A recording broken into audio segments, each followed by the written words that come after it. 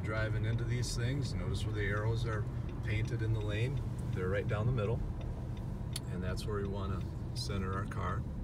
We'll look off to the left, and then we're going to turn into the nearest lane. And we are going to go left at this roundabout from this lane.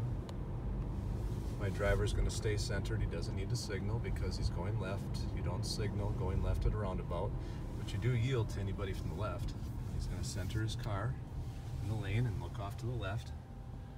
And then he's going to jump in when he gets an opening.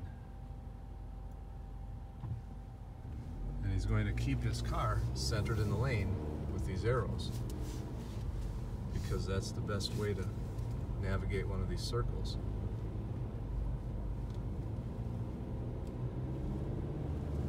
And that's how you would go through a roundabout.